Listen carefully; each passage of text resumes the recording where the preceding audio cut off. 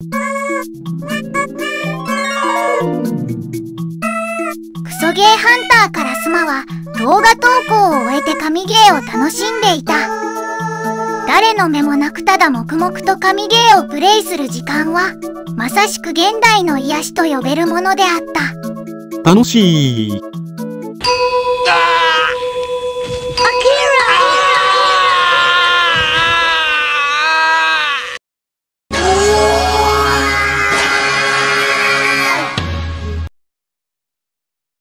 いつまでも神ゲーで遊ぶことは許されない。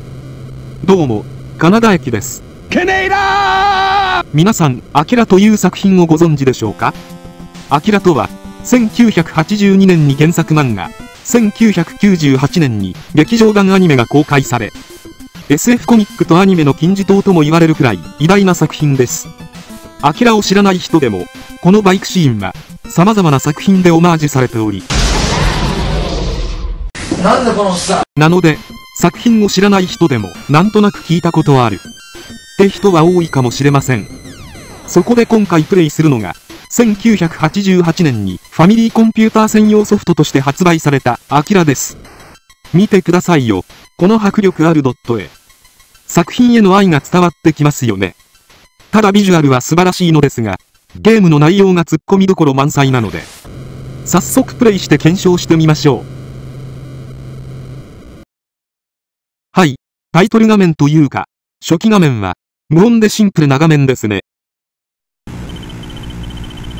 こうして始まりましたが、本作は、映画の内容にかなり沿ったアドベンチャーゲームで、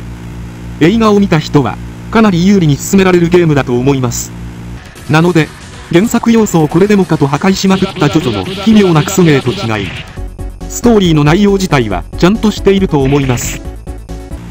で、ストーリー冒頭としては、このやけに、が、広い少年、哲夫が、他のバイクチームと高速道路でバトっている時に、この、やたら顔色の悪い子供のような、おじいちゃんのような人物と接触しそうになり、若干似てるけど、違います。そんな子同時とぶつかりそうになった哲夫でしたが、なぜかバイクだけ爆発炎上し、小同時は、無傷で、哲夫はかろうじて無事でした。そこに駆けつけた本作の主人公である金田。このゲームは、基本、この金田目線で進行していくのですが、この哲夫自体も、作中非常に重要なキャラクターでして、実質もう一人の主人公みたいな存在なのですが、このゲーム哲夫目線の描写がほとんどないせいで、なんかいつの間にか超能力に目覚めるやべえやつになっています。映画見てれば理解できるんでしょうけど見てないと正直なんだこいつってなります。こうして真夜中にどんちゃん騒ぎした金田一行は取り調べを受けることになりますが、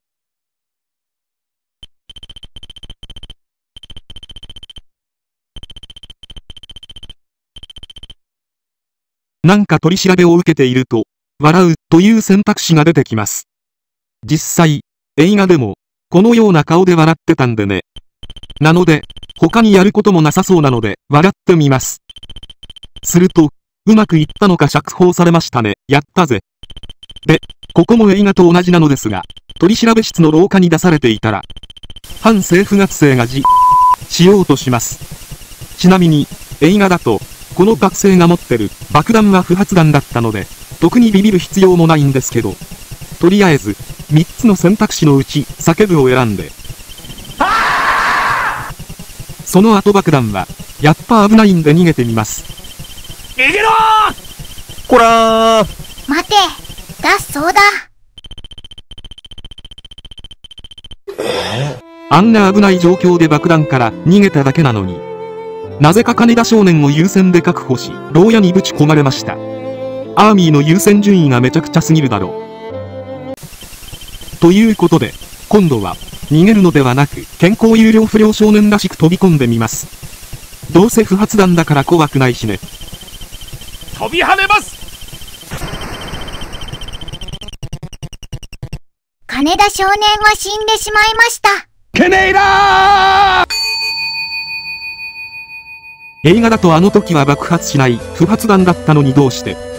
そして、作中圧倒的なフィジカルを誇った金田があっさりと死亡。この時点で分かったと思うんですが、このゲーム選択肢を少しでも間違うと、このように金田が死ぬか。先ほどみたいに牢屋にぶち込まれて終わります。なので、理不尽にも投獄や死亡する金田を見続けるゲームとも言えます。ちなみに、無謀に飛び込むのではなく、生存重視で伏せても、なぜか急にマザコンになり、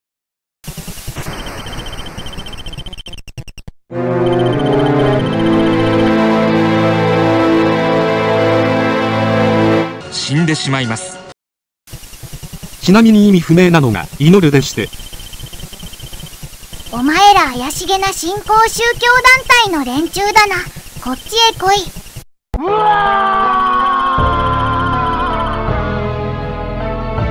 なぜか反政府学生そっちのけで、金田のことを新興宗教信者と勘違いされ投獄されます。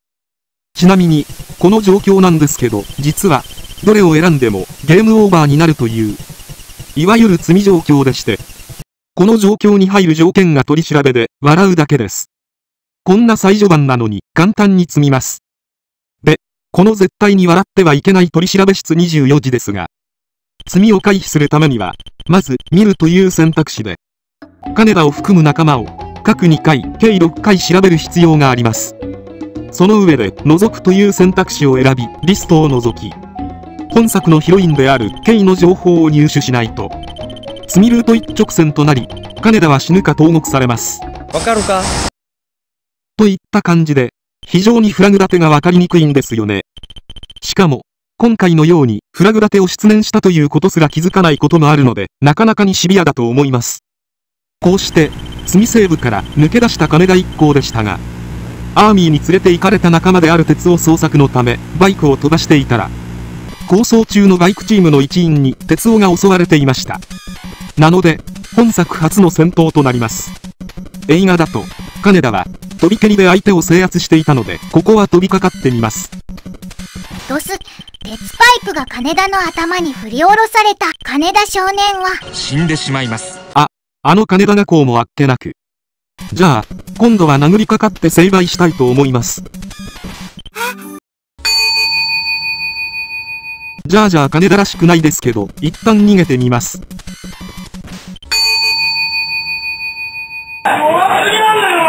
えー、超高性能鉄パイプに何度かボコられましたが、正解は、かがむの後に逃げるでした。わかるか？正直映画の金田らしくない選択肢が正解だったりするのが割と謎です。そして、無事鉄油を救出したのは、いいものの、実は、すでに、鉄夫は力に目覚めており、その影響で、ものすごい頭痛や原子に苦しめられます。そんな力に目覚めたばかりの貴重なサンプルを見逃すわけもなく、研究所の奴らが鉄王を回収しようとするので、金田はガードマンに対して、媚びを打ってみます。え？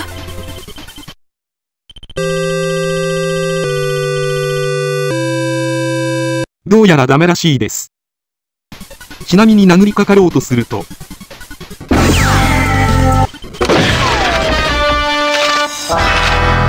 余裕で射殺されます。子供が大人に歯向かってはいけない。そして、今度は、鉄夫ではなくヒロインの K を探すパートにて、適当に探そうとすると、どう見ても、ラリッテル、通称ピーナッツおじさんと遭遇して、案の定殺されます。ピーナッツおじさん恐れるべし。こうして、ヒロインの K と合流したのですが、K の仲間に、スパイではないかと疑いをかけられ、銃を向けられます。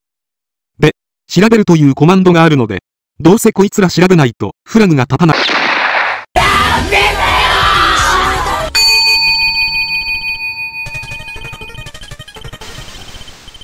調べただけで撃たれるとかあんまりだよ。で、真ん中の、竜という男を調べないと、撃たれるっぽいです。厳しすぎるだろ。こうして、K たちの疑いをある程度晴らして同行することになった金田一行でしたが、潜入中敵に見つかってしまいました。で、ここで唐突に、A ボタン打つ B ボタンかわすセレクト振り向く。え？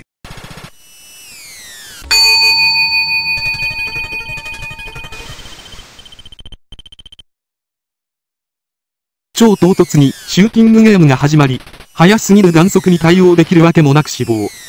まあ、こんな感じで、アドベンチャーパート以外に、プレイヤーの操作でちょっとしたアクションすることも数箇所あります。なんかバグってますが、これは再開した鉄夫です。なぜか右腕だけチラチラしてます。けど一応鉄夫です。金田としては、鉄夫を助けに K と合流し、苦労してここまで来たのですが、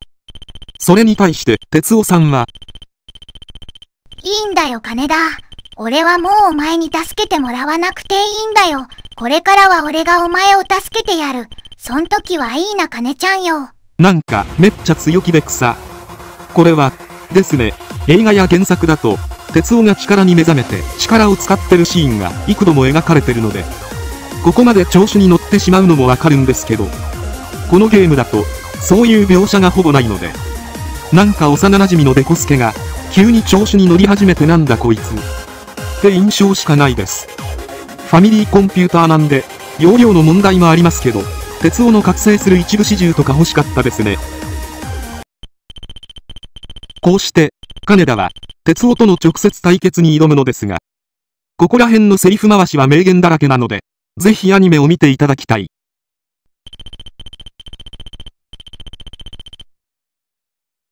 さて、名言を見収めた後は、レーザー銃を、鉄をにぶちかまします。まあ、どうせ、アニメと同じで、バリアで防がれるだろうから。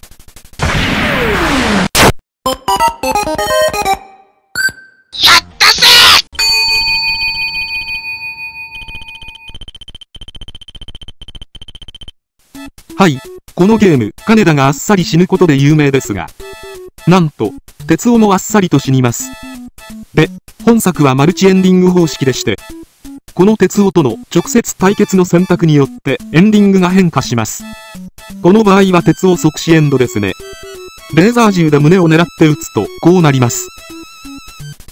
で、正規ルートを進むためには、これも映画視聴前提の知識と言わざるを得ないんですが、作中通り左手を打って負傷させます。こうすると、映画と同じ展開となって話が進みます。こうして、再度鉄夫との直接対決になるのですが、ここも、かなり選択肢があり、先ほど同様容赦なく、胸にレーザーをぶっ放すと。やったぜまたかよこの世界の鉄王はまとか何か？さすがにこのままでは終われないので、ちゃんとしたエンディングを目指します。まず、条件として、鉄夫の右腕を狙撃しないといけないんですが、映画だとバイクに乗りつつ狙撃という展開でしたが、本作だと鏡を使ってレーザーを反射させるという方法で狙撃します。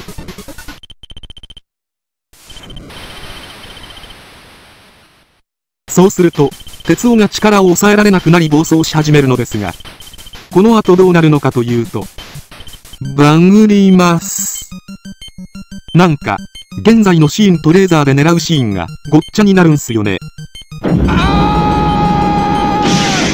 こうなると進行不能になるので、おとなしくリセットします。先ほどのシーンでバグらせずに話しかけるだけで、映画と同じエンディングに行くことが可能です。